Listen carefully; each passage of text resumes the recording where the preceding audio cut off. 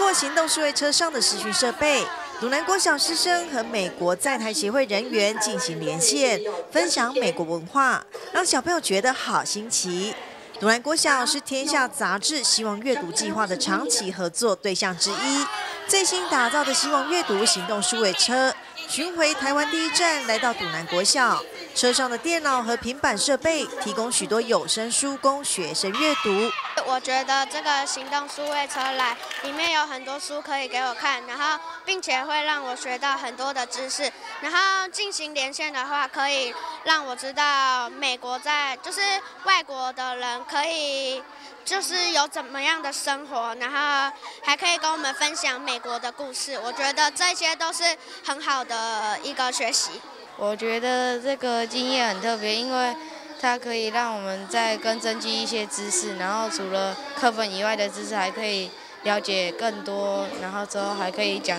这个故事给别人听。这是美呃天下杂志派给我们的轮回的一个行动数位车，那主要是希望我们小朋友呢，透过这个活动，他能够了解一些资讯搜寻的便利性，比如说透过平板网络。那这个美国在台协会呃这个王小姐她希望说。第一次办这种视讯活动，让我们小朋友能够知道美国，了解美国，所以他介绍的是美国的重要节日。那透过小朋友的提问，希希望小朋友能够促进我们两国，他可以对美国比较重了解。堵南国小的学生真的很幸福，因为我们长期跟天下杂志、希望阅读呃的伙伴哈，那读十本书、四十本、七十本、一百本。都各有不同的很特殊的奖品。那么一百本呢，还有一本呃很好的书籍啊，以及有天下杂志给的呃那个天下出版杂志哈给的奖状啊，所以小朋友阅读的风气非常的盛哈，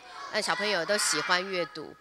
陈龙校长说的，杜南国家小朋友真的好幸福，因为学校长期推广阅读。这台行动数位车将在学校停留约十天的时间，让每位孩子能沉浸在黄金屋中。其中电脑里的有声书对低年级小朋友尤其是有帮助，因为不用看拼音就能享受听故事的乐趣。记者郑君云采访报道。